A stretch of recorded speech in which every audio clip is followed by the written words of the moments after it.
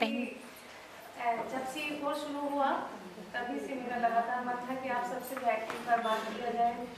जैसे कि मैं देख रही थी कि महाराष्ट्र से यूपी से और यहाँ आप तो सभी साथी हैं अपने। मैं बार लेकिन ऐसा समय नहीं आ पाया। इत्तेफाक ऐसा था कि यूनिवर्सिटी में कन्वोकेशन का माहौल बना हुआ है।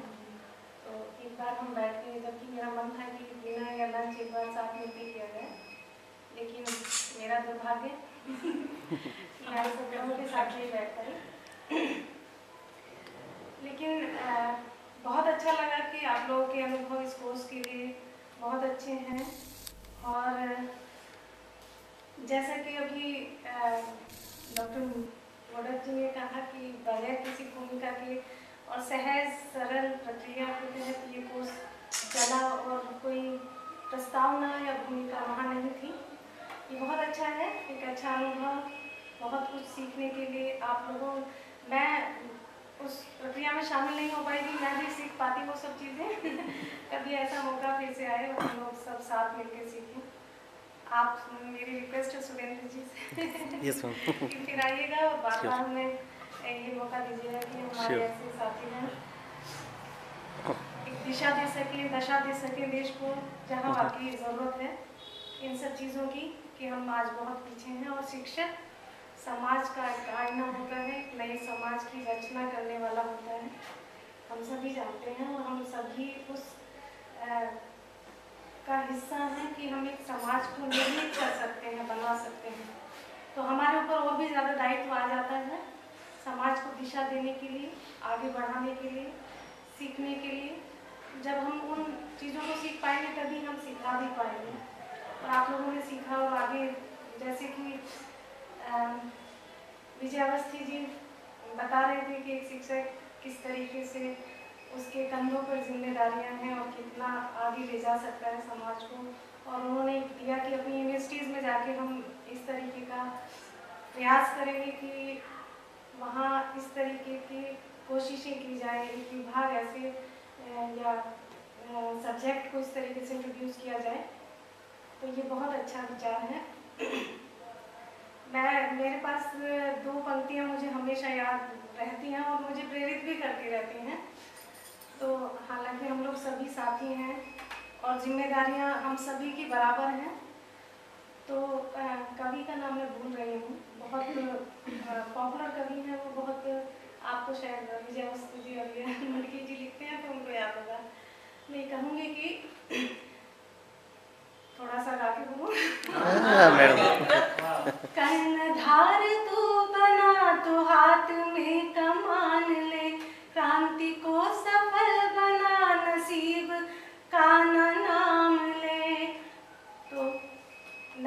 का नाम नहीं लेना, हमें केवल आलोचक नहीं बनना है। हमें दिशा देनी है, समाज को और उस पीढ़ी को जिसके हम निर्माता हैं, निर्धारक हैं। तो अपनी जिम्मेदारियों को हम किस तरीके से पूरा कर सकते हैं? हमारी आत्मा, हमारी क्रियात्मकता कैसे आगे बढ़ा सकती है, उसके लिए सदैव तैयार रहना चाहिए। और मैं बार बार चाहूँगी कि आप लोग यहाँ आए किसी ना किसी कोर्स के लिए। और सबसे अच्छा एक चीज़ मौलिकी जी के जो ये शब्द है कि सुनसान रास्ता अंधेरी रात कोई करता नहीं किसी से बात। स्वाभाविक सी बात है कि वाकई हम कितने अजनबी सी दुनिया में जीते हैं, लेकिन हमें नहीं पता होता कि सामने हमारे नई दुनिया है, नया संसार है, नए दोस्त हैं, नए रिश्ते हैं, नए नाते हैं, और फिर रच जाती है एक नया संसार, नई दुनिया, जिससे हम अपरिचित थे हम सभी, मुझे बहुत अच्छा लगा कि मैं अभी पूछा था रानी से और बीच में भी पूछा कई बार, लेकिन आना संभव नहीं हो पाया। कि कितने लोग रुके हुए हैं वहाँ? क्योंकि मेरी कल्पना ये थी कि जो भी रुका होगा, शायद एक परिवार की तरह यहाँ से बहुत सारी यादें लेके जाएगा। और यही है, असली जीवन यही है, हम लोग अपने जीवन की परिपाटियों में बहुत रिज़र्व होके जीते रहते हैं। हम नहीं जानते कि इसके आगे भी बहुत बड़ा संसार है, बहुत बड़ी दुनिया है। क्योंकि हम उसके अनजाने और अजनबीपन से डरते रहते हैं। लेकिन उन डर को, उन भ्रमों को दूर करते हुए हमें एक साथ, क्योंकि कुछ भी नहीं है, वो एक, महाभारत का एक प्रसंग मैंने शेफाली को बहुत पहले सुनाया था। और यहाँ रिश्ते नाते वही नहीं है जो हमें जन्म से मिले हैं या कर्म से मिले हमें दुनिया में हम आते हैं तो हमारे ऊपर भी बहुत चीज़ें डिपेंड करती हैं कि हम किसको कहाँ अपना बना सकते हैं। और जितने लोगों को हम अपने साथ जोड़ते जाएँगे, बनाते जाएँगे, वही हमारा परिवार है। उस सीमित से परिवार को छोड़ के, क्योंकि एक शिक्षक का तो बहुत बड़ा परिवार होता है सारी दुनिया में उसकी। जब उसको लगता है कि उसका कोई स्टूडेंट सफलता के शिखरों पर है तो शायद एक शिक्षक से ज़्यादा खुशी किसी किसी को भी नहीं मिलती होगी, जो मुझे आवाज़ है हमेशा एक माता पिता का तो एक स्वाभाविक वो है कि बच्चा है उनका, इसलिए वो खुशी है। लेकिन शिक्षक के अंदर जब वो खुशी होती है तो उसके पीछे यही भाव है कि उसका परिवार बहुत बड़ा हो जाता है।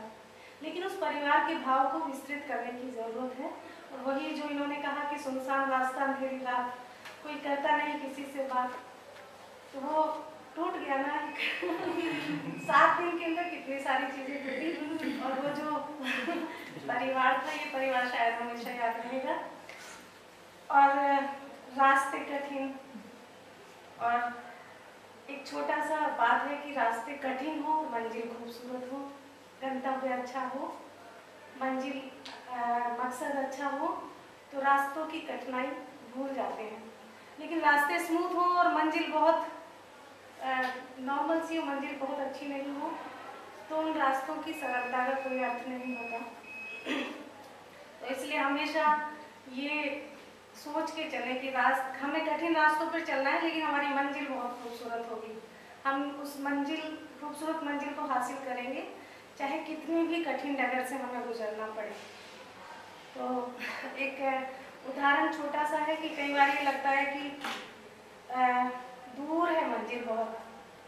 जैसे आपने कहा अभी कि ये कठिन है आज टेक्नोलॉजी के जिस युग में, कि ग्लोबलाइजेशन के एज में जिसकी ज़रूरत है दुनिया बहुत आगे बढ़ चुकी है हम बहुत पीछे हैं। और हिंदुस्तान का बहुत बड़ा वर्ग तो ऐसा है कि शायद इन सब चीज़ों से परिचित ही नहीं होगा। लेकिन जो मंजिल दूर नज़र आ रही है कि जिसमें बहुत प्रकाश है, लेकिन रास्ता जो बीच का रास्ता है कठिन है और हमारे पास एक छोटा सा दिया है। तो शायद सभी के मन में ये ख्याल आता है कि हम वहाँ तक पहुँच कैसे पाएँगे? कठिन है वहाँ तक पहुँचना क्योंकि वहाँ तो इतने रास्ता भी पता नहीं कैसा होगा, डगर कैसी होगी। लेकिन एक दिया जो हमारे पास है, हम जब उसको लेके साथ बढ़ेंगे तो एक कदम बढ़ाएँगे तो वो रोशनी उस कदम के अगले कदम तक ही जाएगी ना। तो बस उस दिए की रोशनी में हमें उस मंजिल को पाना है। अपने जो हमारे स्टूडेंट्स हैं, जो हमारा वातावरण है, जो हमारा समाज है उस छोटे से दिए की रोशनी में हमें उस मंजिल को हासिल करना है, जहाँ दुनिया आज जिस को हासिल किए हुए और जिसकी वजह से प्रगति की दौड़ में हम उस रेस में सबसे आगे बढ़ सकें। भले ही हमारे पास छोटा दिया है, लेकिन उस मंजिल को हम हासिल करेंगे।